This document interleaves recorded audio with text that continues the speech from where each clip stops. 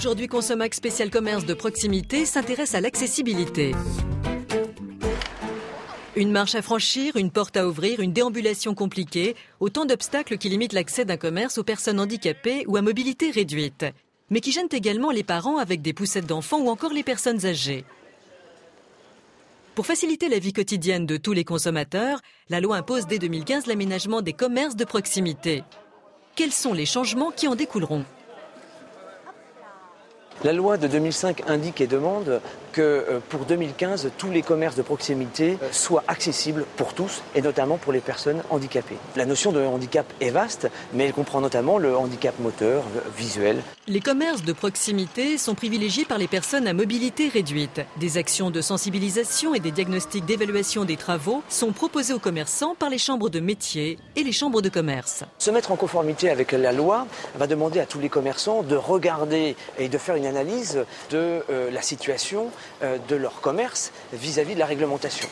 À titre d'exemple, si on prend les personnes qui ont une déficience visuelle, eh il faut regarder du côté de l'éclairage, de l'étiquetage, de la signalétique, qui, quand ils sont euh, bien traités, améliorent considérablement le confort des consommateurs.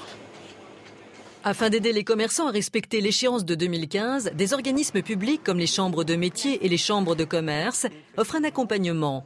Outre les actions de sensibilisation, ils proposent un diagnostic des commerces pour évaluer les travaux à réaliser. Les commerçants, par le biais d'un diagnostic, peuvent appréhender les questions d'accessibilité et répondre aux besoins des consommateurs à mobilité réduite. Ces différents aménagements ne demandent pas forcément une rénovation complète du magasin. L'idée est d'examiner avec les commerçants des solutions simples, efficaces et peu coûteuses, comme la circulation dans le point de vente, comme l'éclairage et la hauteur du mobilier.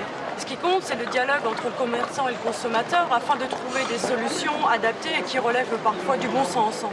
Bonjour, alors aujourd'hui je voudrais euh, 4 blancs de poulet.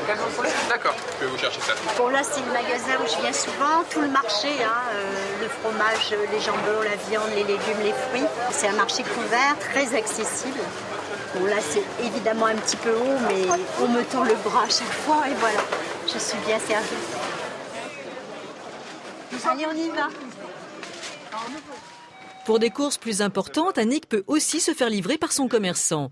L'accessibilité signifie un quotidien simplifié pour tous les consommateurs. Rendre accessible son commerce n'est pas forcément synonyme de gros travaux. Il existe aujourd'hui des solutions techniques et simples qui permettent d'accueillir tous les publics.